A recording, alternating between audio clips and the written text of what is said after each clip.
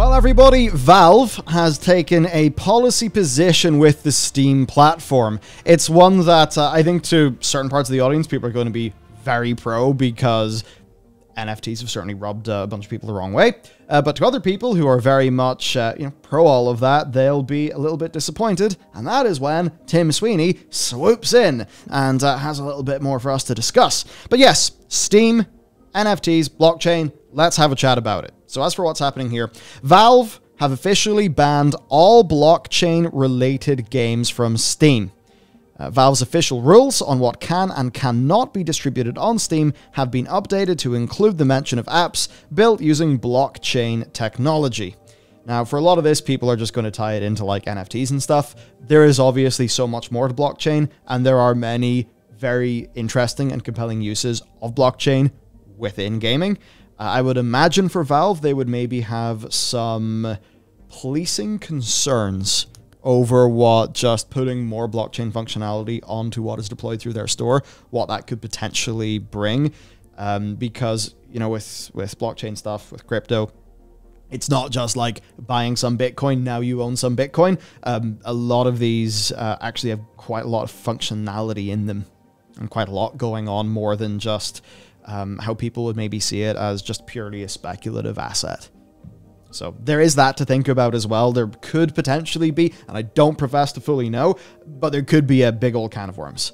Um, now there are some interesting things. I've mm. seen some NFT platforms that, you know, one of them it was basically like horse racing, but it was using a whole bunch of generated stuff, uh, or sorry, generative stuff with the tokens and like evolution and all of that, and basically all this, you know, collecting the the horses, and it was all tied back, you know, into a token with a value, and it, it, seemed interesting to me. I mean, there was also a bit of me just like, okay, cool, but what's what's the point? Um, Modern Neopets.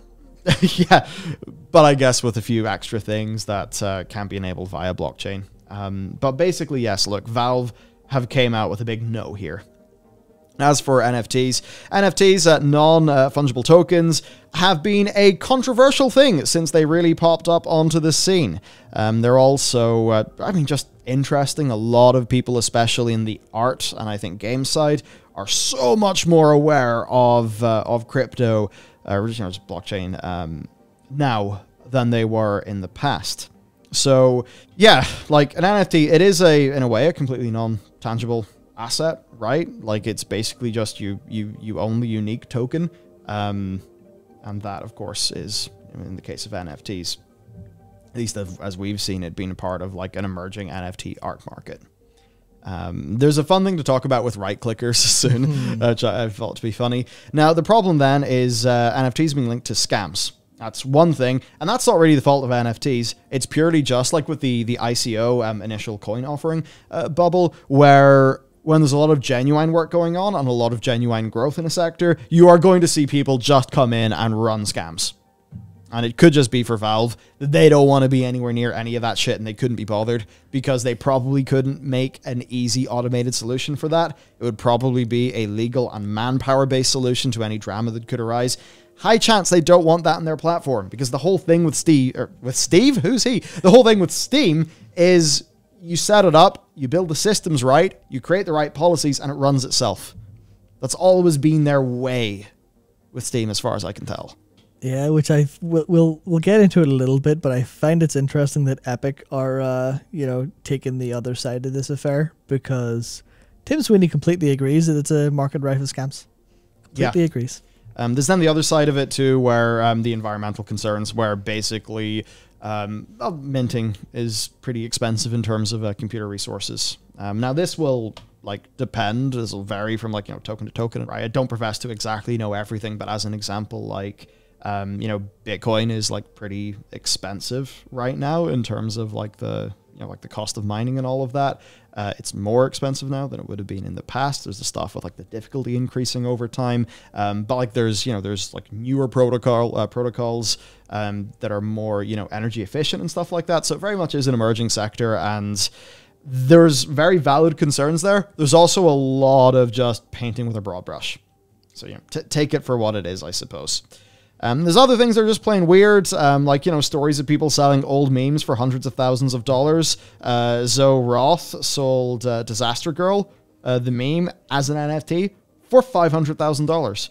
And there's a lot going on with NFTs that is just kind of wild to me.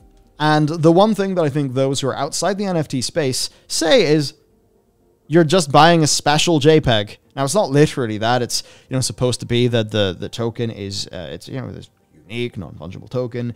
Um, you know that is it, it, it is this art. You kind of you know you can't separate them. It, it really means that you are like the true owner of this thing. But there's a reason why they derog you know they derogatorily call people right clickers because it's right click save as. Oh, now the image is mine. Yep, it is. It is insane that that's literally what's happened. There are people who are going and buying like profile pictures, like NFTs for use on Twitter that are, you know, let's say objectively maybe not the best pixel art we've ever seen. No, uh, in general, is so much. Like, sorry, there is so much pure shite shovelware going on in the NFT space. Um, I, I feel that because it's NFTs and it's a new rising thing, um, you can just do some pixely, maybe slightly ethereal, vapor wavy shit, and people will just lap it up. honestly, from what I've seen, it doesn't even need to be anything interesting or good. It could be like eight pixels vaguely in the shape of a face that looks like the person if you're lucky. And they will put thousands on this. And then they'll get mad when people just go, Oh yeah, see your NFT. Yeah, save the copy. Here's a screenshot of my hard drive. There's four copies of it. Does this mean I have four times the amount of money you have? And they're actually getting upset by it. Like they've Yeah. they have started using right clicker as a per, as a pejorative. Now, one thing so that I would just say to to explain things to people is, uh, you know, how much is a Picasso worth? Really, how much is a Picasso worth? How the f- how the hell do you judge that? Well, one way of judging that is how much other Picassos go for. And if you're a collector of Picassos, you have a vested interest in Picassos not going for cheap, as does every single other collector of Picassos which means that you have got an incentive to keep doing things with you know the minimum reserve prices and all of that such that the price of the artwork being sold goes up and up and up and up. Because yeah you're collecting picassos but also they're storing value for you and they're a speculative asset and all of those other things. And I would say that some similar things that lead to a lot of inflation in the like the big traditional art market, I think those things are applying to NFTs. What is the intrinsic value of Disaster Girl? Is it really 500 grand when you can just right click it? But by everybody just being like these th- this is super serious. This is the next form of art collection. This is the future. Look at all of these super high values. Well, the people who are going to be pushing all of those super high values have also got NFT portfolios and you know more vested interests there. So there's going to be aspects of what drives up the traditional art market that will be on display here, and I think that stuff that to a bunch of people like it comes across as a bit weird and funny because of just right click save as, um, and that's maybe just the financial angle is what maybe makes some people feel a bit iffy about it. Now, what about NFTs in video games? Because that's how they're going to end up in Steam. Obviously, not anymore. Well, NFTs are relatively new, um, but then being tied to gaming does amplify a few worries for some people. Now, Age of Rust is a blockchain game containing puzzles that sometimes may reward you with an NFT, right? So, in a way, you could say that as a player, it's like not only am I just getting a generic JPEG as a reward, but this JPEG is an NFT. This is my NFT. Nobody else is going to have it maybe it has some form of value. You know, like what if uh, like a game like that takes off and you have all of this generative stuff going on, you get the really cool thing, it is pretty much insured to be unique, you have the NFT uh, you know yourself. Well, will that make it go up in value? You know, in the way that like imagine you've got a, you know, a shiny Charizard, but like imagine a super super super mega shiny Charizard that's completely unique that is deployed via an NFT. You can sort of see how this could create markets within games and just a lot of interesting stuff there. Especially when you take into uh, consideration the metaverse that everyone's trying to go into Bingo. that keeps loads of different games and has everything.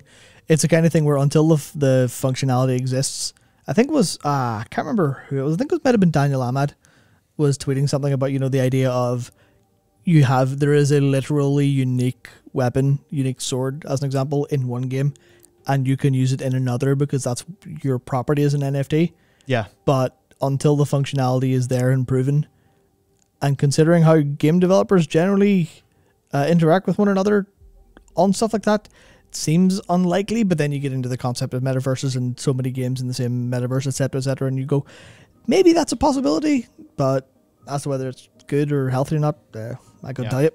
Uh, yeah, this game is obviously being forced off Steam with Valve's uh, latest policy change. So, yes, community, as of a few minutes ago, we were notified that Steam is kicking all blockchain games off, including Age of Rust, because NFTs have value. Behind the scenes, we had good communications and have been upfront with Steam. We choose to be upfront about blockchain gaming and NFTs. As a result, we finally lost the battle with Steam. While I'm disappointed for Age of Rust being removed, the point is more to the fact that blockchain games as a whole are being removed. This is a setback for all. Steam's point of view is that items have value and they don't allow items that can have real world value on their platform. While I respect their choice, I fundamentally believe that NFTs and blockchain games are the future. It's why I started this uh, started this journey with all of you. At this point, we will put our energy back into game dev, creating more NFTs and empowering the community than trying to fight Steam alone. We'll continue to publish our Unity game elsewhere. Moving forward, we love NFTs, we love Enjin, and we love our community onward. Now, as for this with Valve, do you remember something about knives? knives, knives that came out of boxes in Counter Strike Global Offensive, which, funny enough, uh, did result in a global offensive against uh, the various different uh, lottos, like, you know, CSGO Lotto, and of course Valve, who were basically. They were being accused of just sitting there letting a grey market gambling thing run on their platform. They obviously don't want that because think of all of the cans of worms that that exposed Valve to. So I think they would be worried that if a new gold rush sort of went and happened on their platform, that similar to with the CSGO Lotto situation, they would just have a whole bunch of shit to deal with that they probably couldn't be bothered to because why bother with all that shit when you can just sit there and collect 20 or 30 to 20% um, of the you know revenue of everything sold in your store? why, like seriously, like why why would you want to invite all of that upon yourself? I, I really think that is uh, that is what Valve is is thinking here, and it's interesting because this is really the this is the next evolution of games that have things in them with real value. We saw this with Second Life.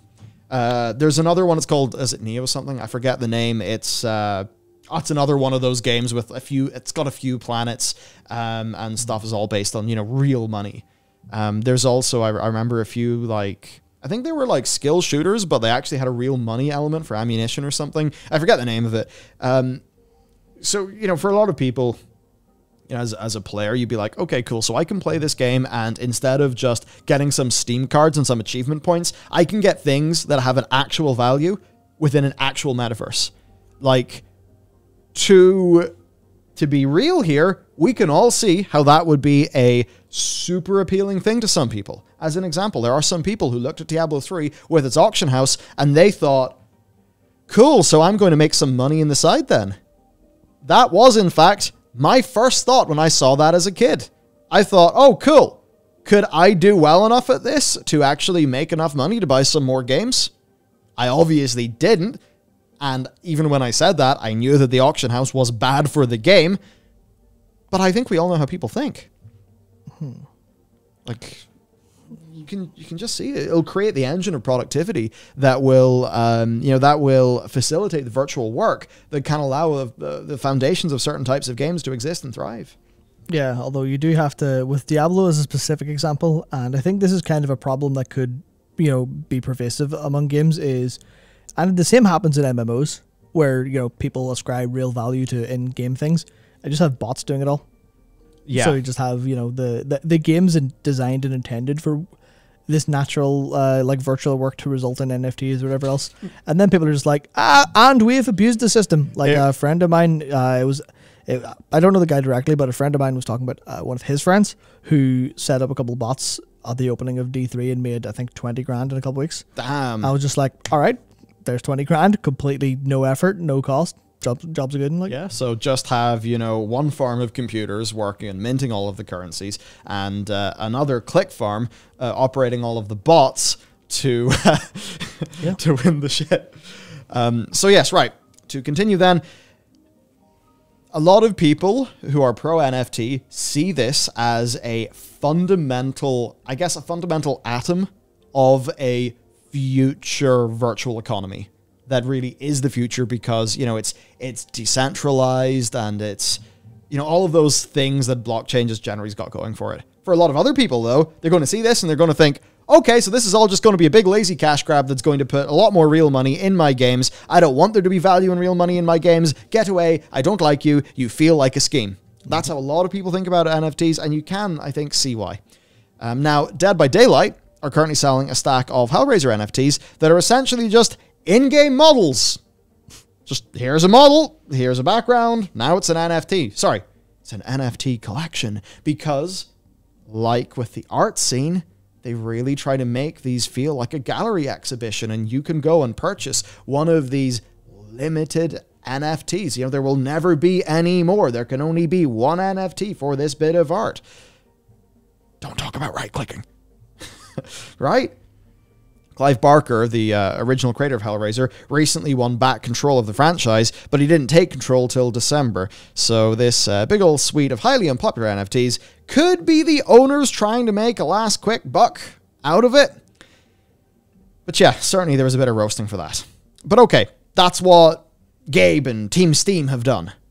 Well, a few weeks ago, Tim Sweeney of Epic Games said that NFTs were, quote, tangled up with an intractable mix of scams. Well, very recently, when Steam took their anti NFT stand, Sweeney uh, has said that the Epic Games Store will welcome games that make use of blockchain tech, provided they follow the relevant laws, disclose their terms, and are age related uh, or age rated by an appropriate group.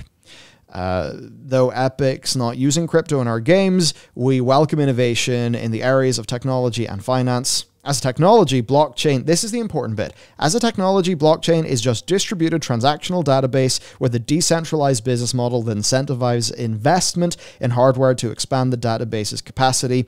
This has utility whether or not a particular use of it succeeds or fails.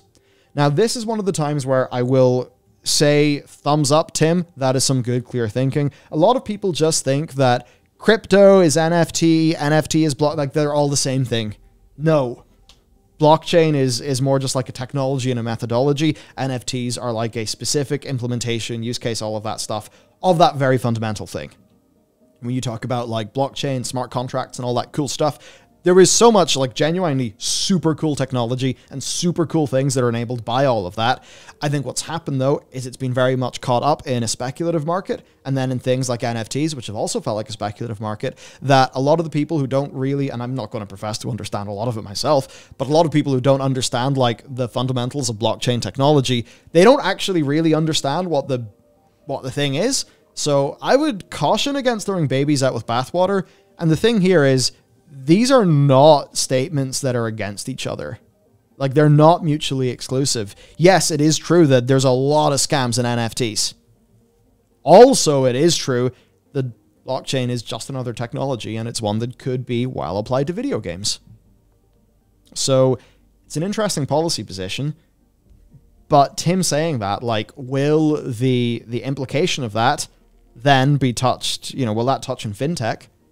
And then will Tim have a situation where he's got games in his store that are video games with a fintech angle? Like, what does that mean from a regulatory perspective? Like, all the legal shit, all of the terrible things that could happen on their store, and whatever implications they could have from that? I mean, ballsy. Valve are definitely going in a more conservative uh, manner here. I think they're probably just waiting to see how it all shakes out before they make a firm decision. Whereas, I mean, this just does line up with how Epic generally are in their communications. It's interesting because Valve, you know, you usually assume them to go, ah, yeah, freedom, whatever, like literally do whatever you want in our store. But they've definitely taken a little bit of a, especially recently, some you probably could attribute it to some of the CS:GO stuff. You could likely attribute it to maybe just a change in policy across, you know, the developers who've been there for the longest have just changed their minds over time and developed new, uh, like, sort of philosophical outlooks. But especially after Alyx's release, Valve certainly feel a bit different. It feels like Steam's policy stuff has been on the board a lot more. And then you look at well, this this will be a video coming soon on the Steam Deck, and they very much are taking more of a more of a classic approach of no, we're going to do right by our customers and make sure that happens first. Yeah, and I think that's what people have long wanted. Yeah, you know, they wanted Steam to continue. They've wanted the hardware to succeed, and they've just wanted more games.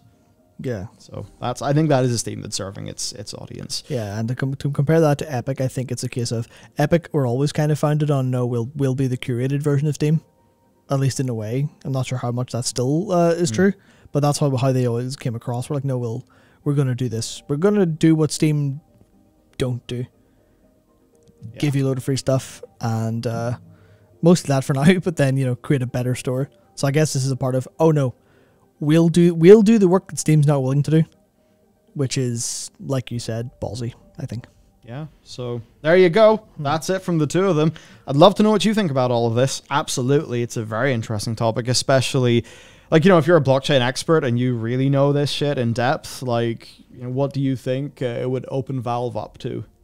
Just thinking about the CSGO lotto case, I'd, I'd be fascinated to hear. Yeah. Before we go, I actually have one little thought that is uh, about you know how this could impact games as NFT, the NFT stuff, but it's a little bit out there. So there's an an artist I've been following for a long time who used to be a Riot uh, concept artist, is called uh, Zero or Zeronis, and he has been selling a lot of NFTs. Does an exceptional job as an artist, but has been making thousands and thousands of dollars in Ethereum from selling on Foundation, to the point where he doesn't work in video games anymore. Just Mm. is an artist, and I've seen a, I've seen him retweet his friends who are following suit.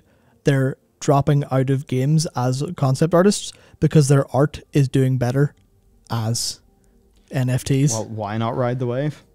yeah, So, yeah. So that, that's what that's like. Is it now going to be more valuable being an artist outside of the game side of things when you're doing digital art? Is that going to you know impact games? It's a it's a minor thought, but I just thought it was interesting. yeah. I think also in a way where you really need to be at the top of the top of the top. Oh yeah, Or that- very yeah, much are. in the crypto scene. Yeah. uh, and have clout and like be known there to get away with with that. I think there's been a gold rush from a lot of people who've you know they've tried to do that, but it you know, it just hasn't happened. So there you go. Right, let us know what you think. Uh, that's it for us, and we will see you next time.